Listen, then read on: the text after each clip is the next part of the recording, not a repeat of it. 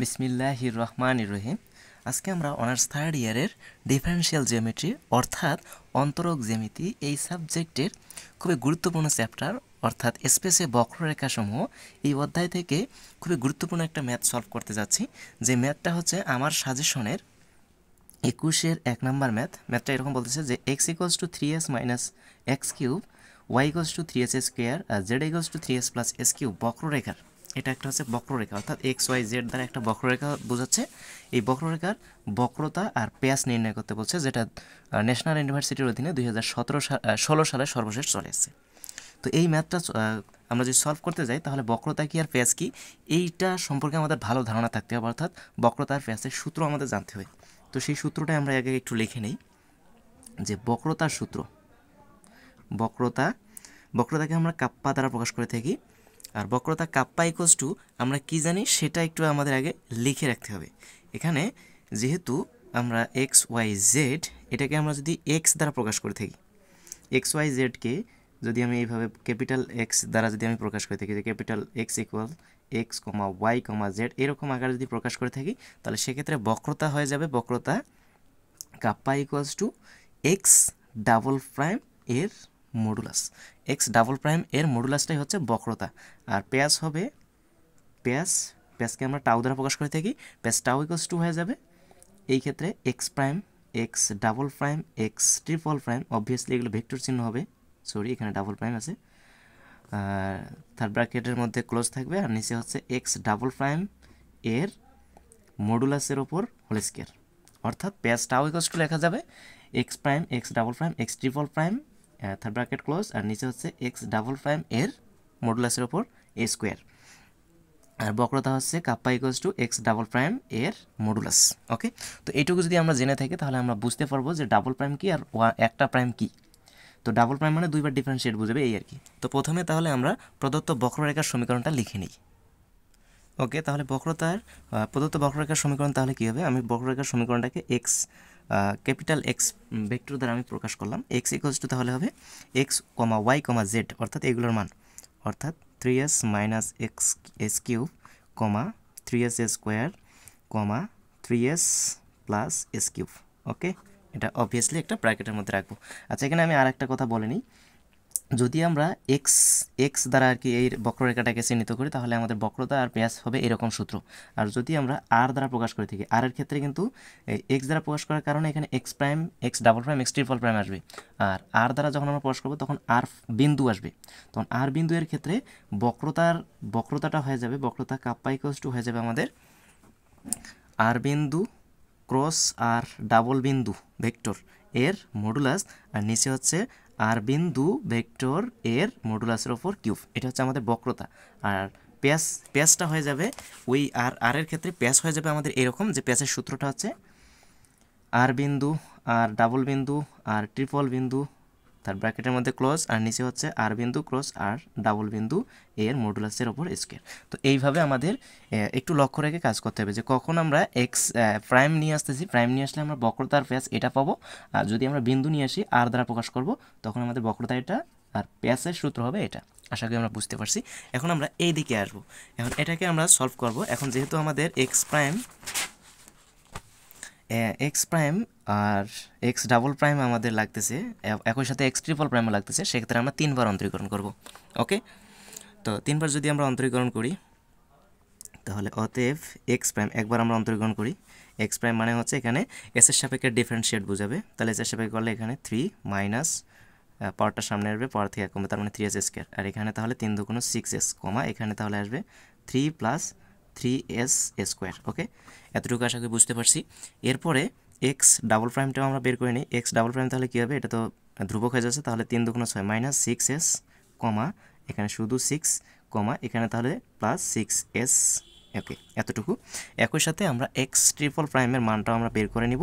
Triple prime যদি আমরা বের করি, এখানে কিন্তু মাইনাস আছে, তাহলে এখানে মাইনাস সিক্স কমা এটা জিরো হয়ে যাবে, আর এটা হয়ে যাবে প্লাস সিক্স ওকে তো এতটুকু আমরা আশা করি বুঝতে পারছি। এখন আমরা বক্রতার ক্ষেত্রে যদি আসি, বক্রতা kappa equals to x double প্রাইমের মডুলাস তো এই যে এক্স ডাবল প্রাইম তো আমরা বের করছি তার মডুলাস এখন আমরা বের করব। তাহলে আমরা জানি সূত্র দিয়ে আমরা লিখে দিই যে আমরা জানি আমরা জানি বক্রতা বক্রতা কাপ্পা ইকুয়ালস টু কি জানি এক্স ডাবল প্রাইম ভেক্টর এর modulus okay x double prime ভেক্টরের মডুলাস আমরা কীভাবে বের করব? ওকে রুট আবার এক্সের ওপর স্কোয়ার ওয়াইয়ের ওপর স্কোয়ার জেডের ওপর স্কোয়ার তার মানে মাইনাস সিক্স তার উপর square six s square plus six square plus six s তার উপর স্কোয়ার ওকে এগুলো আমরা শিখছি এর আগে। তো এখানে মাইনাসের উপর স্কোয়ার থাকা মানে প্লাস হয়ে যাবে ছয় ছয় ছত্রিশ এস স্কোয়ার প্লাস এখানে ছত্রিশ প্লাস এখানে ছত্রিশ এস স্কোয়ার ওকে এতটুকু আশা বুঝতে পারছি।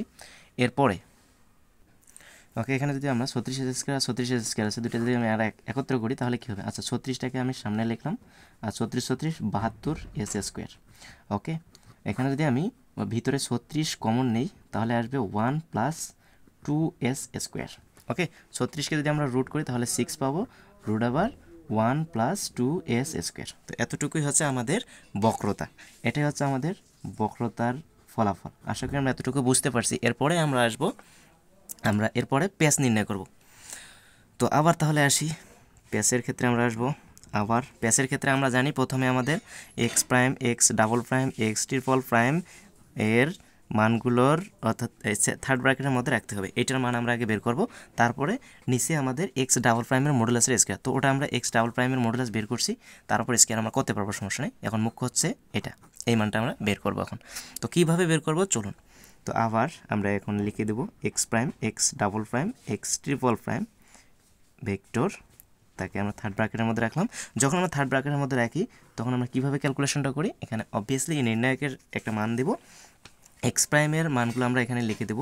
এক্স প্রাইম আমরা পাইছিলাম three minus three s square তারপরে সিক্স এস তারপরে পাইছিলাম আমরা three plus three s square okay এটা হচ্ছে আমাদের x prime x double prime আমরা পাইছিলাম মাইনাস সিক্স এস আমরা গ্যাপ গ্যাপ করে রাখব। এটা এক্স এটা ওয়াই আর এটা জেডের জন্য।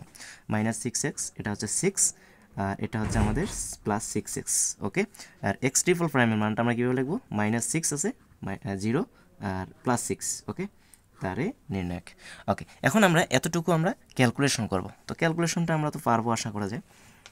প্রথমে যদি আমি এই বরাবর আচ্ছা three minus three s square যদি আমি নিয়ে নিই তাহলে এখানে থাকবে আমাদের এই বরাবর সারি কলাম বাদ, তাহলে এটা এটা গুণ, তার মানে ছয় ছয় ছত্রিশ, সূত্রের মাইনাস জিরো আর সিক্স এস গুণ করলে জিরো ওকে এরপরে এখানে আমাদের আসবে সূত্রের মাইনাস সিক্স এস যদি আমি নেই, তাহলে এই বরাবর সারি কলাম বাদ, তাহলে মাইনাস সিক্স এস আর সিক্স গুণ করলে আসতেছে মাইনাস থার্টি সিক্স এস সূত্রের মাইনাস এটা সিক্স এস আর মাইনাস সিক্স গুণ যদি করি, তাহলে মাইনাসে মাইনাসে প্লাস ছয় ছয় ছত্রিশ এস ওকে এরপরে যদি আমি এবার plus three plus three s square অর্থাৎ এই এই মানটা নিই, তাহলে এবার আবার সারি কলম বাদ দিলে এখানে আমাদের মাইনাস সিক্স এস আর জিরো গুণ করলে আমাদের জিরো সূত্রের মাইনাস আর এখান সিক্স মাইনাস সিক্স আর সিক্স যদি গুণ করি সূত্রের মাইনাস আর এখানকার মাইনাস মাইনাসে মাইনাসে প্লাস ছয় ছয় ছত্রিশ।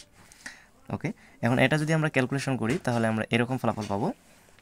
এখানে আমরা ক্যালকুলেশন করলে পাইতেছি আমরা ছত্রিশ আর তিন গুণ করলে একশো আট মাইনাস ছত্রিশ আর তিন গুণ করলে একশো আট, তার সাথে এস স্কোয়ার, ওকে? মাইনাস এখানে এটা একটা কাটাকাটি করলে জিরো, তার মানে এটা জিরো আসতেছে, এটা আমার লেখার দরকার নেই।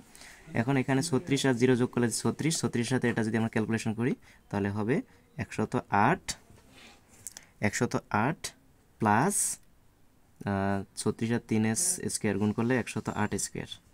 একশত আট এস স্কোয়ার ওকে এখানে মাইনাস একশত আট এস স্কোয়ার আর এখানকার প্লাস একশত আট এস স্কোয়ার কাটা যাচ্ছে। তাহলে থাকতেছে আমাদের একশত আট আর এখানকার প্লাস একশত আট। ক্যালকুলেশন করলে আমাদের একশত আট আর একশত আট দুইশত ষোলো। এটা হচ্ছে আমাদের এই যে, এই মানটা আমরা বের করলাম। এখন আমরা এই বক্রতার যে, আমরা প্যাসেজ যে সূত্রটা জানি, সেই সূত্রটাতে আসব। তো এরপরে আমরা আসতেছি। তো আবার আমরা জানি, আবার আমরা জানি। কেননা এর আগে আমরা লিখছিলাম একবার আমরা জানি, তাই আবার আমরা জানি। আবার আমরা জানি প্যাস প্যাস টাউ ইকুয়ালস টু আমরা কি লিখতে পারি? X prime x double prime x triple prime অবশ্যই এগুলো ভেক্টর চিহ্ন হবে, সেটা থার্ড ব্র্যাকেটের মধ্যে থাকবে, আর নিচে হচ্ছে এক্স ডাবল প্রাইম এর মডুলাস সরি থার্ড ব্র্যাকেট না মডুলাস তার উপর এ স্কোয়ার এটা হচ্ছে আমাদের প্যাসের সূত্র ওকে আমি একটু এইদিকে লিখে, আমার হিসাবের সুবিধার্থে। এইটার মান আমরা পেলাম উপরের মানটা পেলাম আমরা দুইশত ষোলো, একটু আগেই। আর নিচে আমরা এক্স ডাবল প্রাইম এর মডুলাস আমরা মান পাইছিলাম এক্স ডাবল প্রাইমের মডুলাসের মান আমরা ওই বক্রতার ক্ষেত্রে পাইছিলাম। সিক্স ইন্টু রুট আবার one plus two s square তারের যেহেতু মডুলাসের উপর স্কোয়ার তাই আমরা এখানে স্কোয়ার দিয়ে দিলাম ওকে এতটুকু আশা করি বুঝতে পারছি। এরপরে উপরে দুশো ষোলো আসেই নিচে আমরা যদি স্কোয়ারের যদি কাজ করে দিই, ছয় ছয় ছত্রিশ তার সাথে রোডার স্কোয়ার কাটা গেলে one plus two s square. Okay, এতটুকু আশা করি বুঝতে পারছি। এখন উপরে নিচে যদি আমরা কাটাকাটি করি ছত্রিশ দিয়ে দুশো ষোলোকে কাটলে আমরা উপরে পাবো ছয়। তার মানে উপরে আসতেছে আমাদের ছয় আর নিচে আসতেছে one plus two s square. এটাই হচ্ছে আমাদের পেঁয়াজ, নির্ণয় পেঁয়াজ। তো আমাদের এখানে পেঁয়াজ ও বক্রতা নির্ণয় করতে বলছিল, সেটাই আমরা কাঙ্ক্ষিত ফলাফল বের করলাম। আশা করি আমরা বুঝতে পারছি। যদি এরপরেও কারও কোথাও কোনো ধরনের বুঝতে সমস্যা হয়ে থাকে, তাহলে অবশ্যই কমেন্ট করে জানাবেন। ধন্যবাদ সবাইকে, ভালো থাকবেন, সাথেই থাকুন।